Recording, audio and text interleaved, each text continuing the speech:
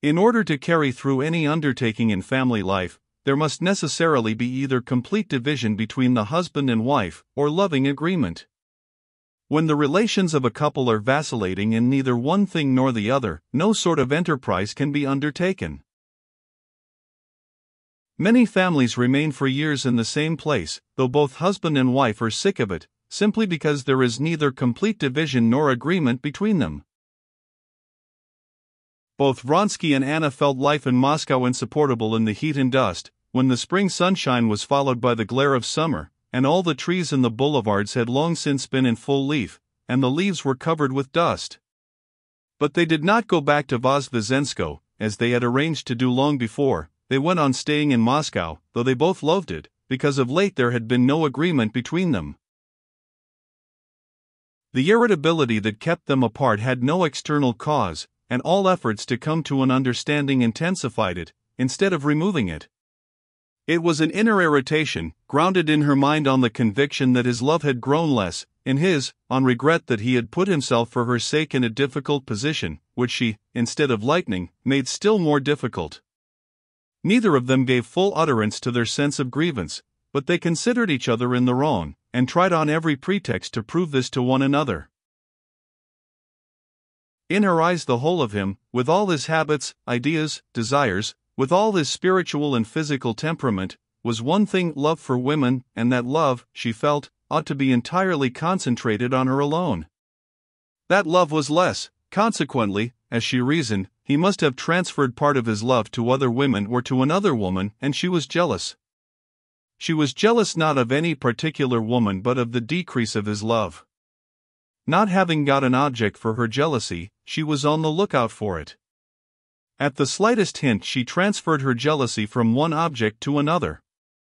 At one time, she was jealous of those low women with whom he might so easily renew his old bachelor ties, then she was jealous of the society women he might meet, then she was jealous of the imaginary girl whom he might want to marry, for whose sake he would break with her. And this last form of jealousy tortured her most of all, especially as he had unwarily told her, in a moment of frankness, that his mother knew him so little that she had had the audacity to try and persuade him to marry the young Princess Sorokina. And being jealous of him, Anna was indignant against him and found grounds for indignation in everything. For everything that was difficult in her position, she blamed him. The agonizing condition of suspense she had passed in Moscow, the tardiness and indecision of Alexey Alexandrovitch, her solitude, she put it all down to him. If he had loved her, he would have seen all the bitterness of her position, and would have rescued her from it. For her being in Moscow and not in the country, he was to blame too. He could not live buried in the country as she would have liked to do. He must have society, and he had put her in this awful position, the bitterness of which he would not see. And again, it was his fault that she was forever separated from her son. Even the rare moments of tenderness that came from time to time did not soothe her. In his tenderness, now she saw a shade of complacency, of self confidence, which had not been of old, and which exasperated her. It was dusk. Anna was alone, and waiting for him to come back from a bachelor dinner. She walked up and down in his study, the room where the noise from the street was least heard, and thought over every detail of their yesterday's quarrel. Going back from the well remembered, offensive words of the quarrel to what had been the ground of it, she arrived at last at its origin. For a long while she could hardly believe that their dissension had arisen from a conversation so inoffensive, of so little moment to either. But so it actually had been. It all arose from his laughing at the girls' high schools, declaring they were useless, while she defended them. He had spoken slightingly of women's education in general, and had said that Hannah, Anna's English protege, had not the slightest need to know anything of physics. This irritated Anna. She saw in this a contemptuous reference to her occupations. And she bethought her of a phrase to pay him back for the pain he had given her.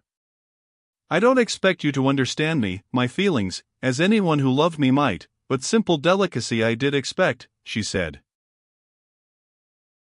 and he had actually flushed with vexation, and had said something unpleasant. She could not recall her answer, but at that point, with an unmistakable desire to wound her too, he had said,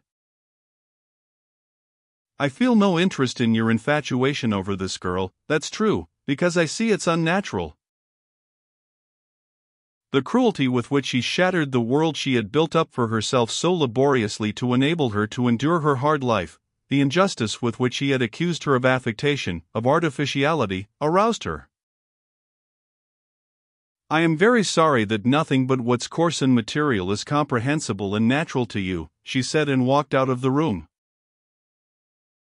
When he had come in to her yesterday evening, they had not referred to the quarrel, but both felt that the quarrel had been smoothed over, but was not at an end.